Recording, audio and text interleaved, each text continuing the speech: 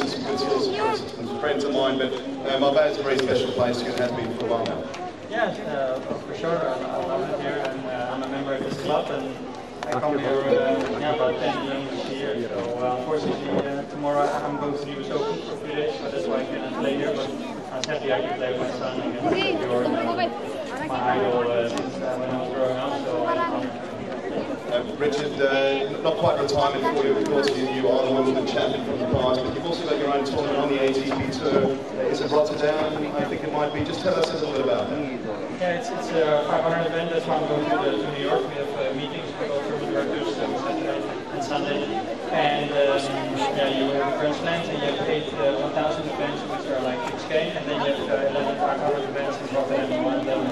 We've had Nadal play, we have Federer play, and uh, Euro play, even in uh, down Bosch, Jimmy Connors, Sampras, uh, yeah, all the greats have uh, played uh, at our event. And uh, next year, Roger Federer is coming back again, so uh, we, we have a good again. Well, we wish you continued success, certainly with that, and have a great weekend. Fantastic to have you guys here. Ladies and gentlemen, a round of applause for the Krajicek family and the Borg family, please.